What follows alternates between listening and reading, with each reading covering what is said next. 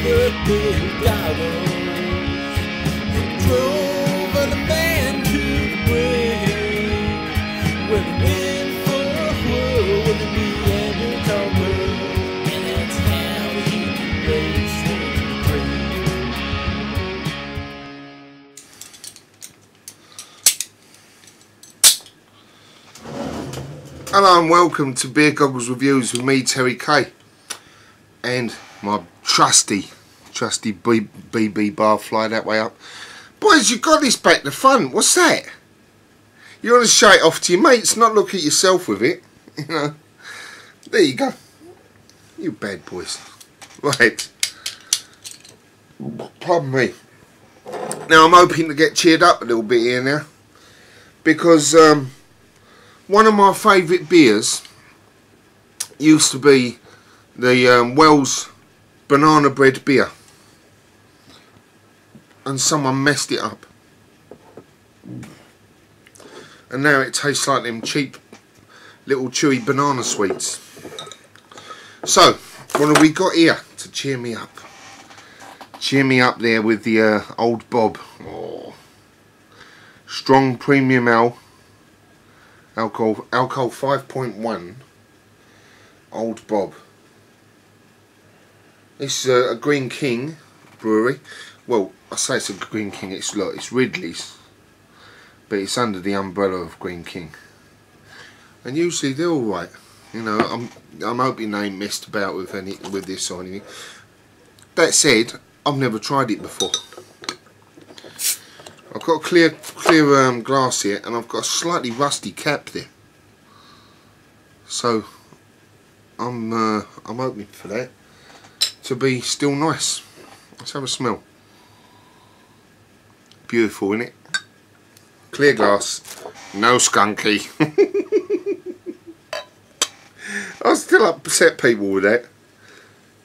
Drink beer after beer after beer after beer from a clear glass and I have not had a skunky one.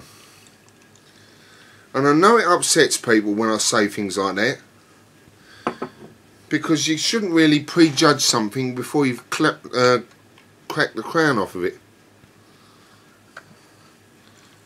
Right.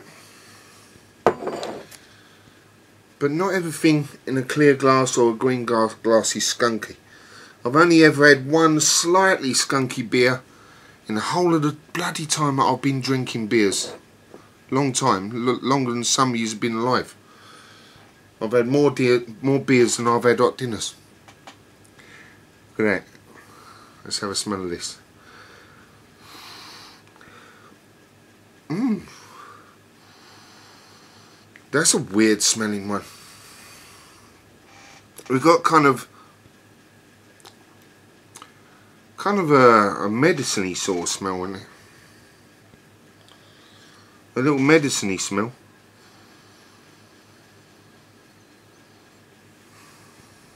Black currants, uh, no. There's a dark fruit in there. Yeah, black currants.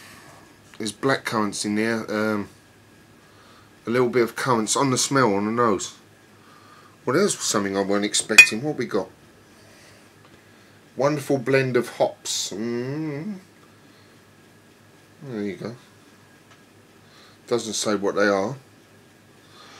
Let's bash away anyway. Let's have a let's have a sip of that. Sip.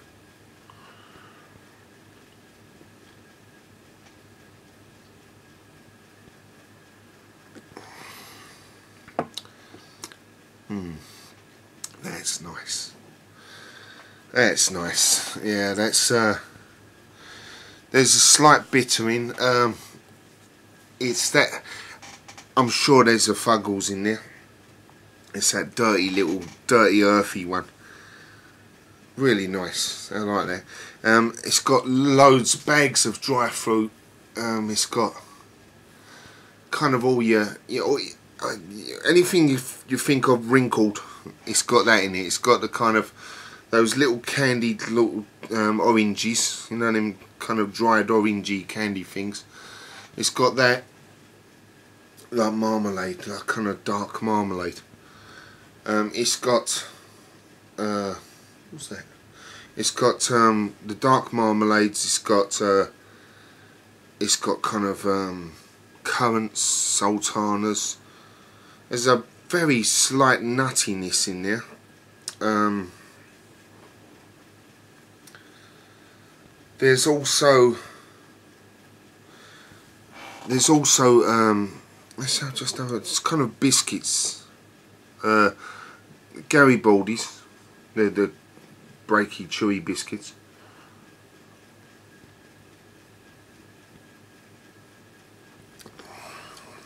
Mm. Oh, that's nice. You got um, caramel notes in there.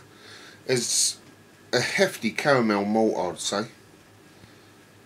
Like a, as if they've got two malts in there, like a crystal malt, giving lots of sugary sweetness, and and uh, maybe a caramel or something like that. Does it say? Just says a biscuit malt finish. It don't really say a lot. Listen, guys, put brewers, put some some information on the bottles. Help us out. You know, it makes us a bigger bigger story in the bottle if you know what some of the ingredients are. By the way, I'm so hot in here, sweating hot, absolutely bloody hot. Someone kiss life. Mm.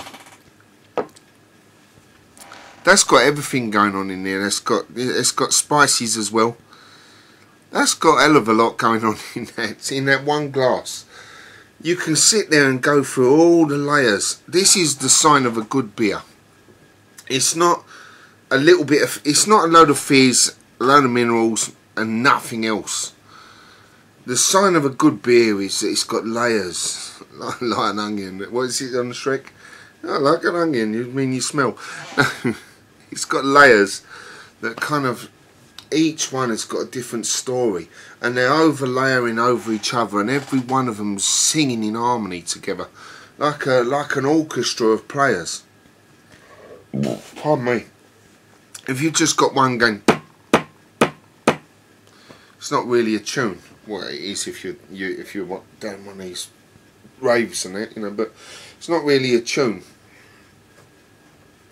but when you got that with all the other stuff and the violins and the harps and the orchestra and the, uh, you know, all sorts and violins and violins said that twice. Well, there's lots of them.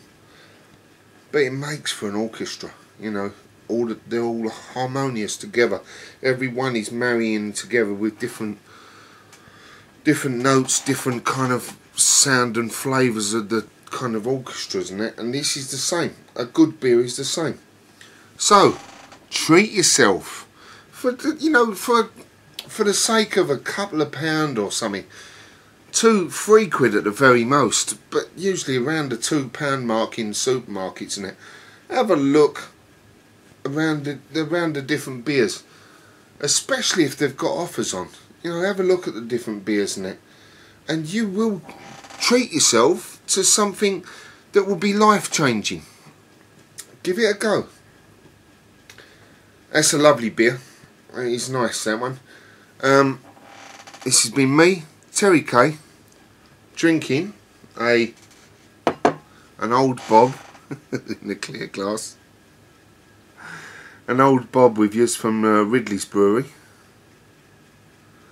Established 1842. Now under the um, umbrella of Greene King. But uh, it looks as if I ain't damaging it. So that's cool. I hate when um, when firms come along and start damaging recipes. Then that's not cool. But that is lovely. So go for that old Bob. Thank you very much. Chin chin. Cheers. Be bombs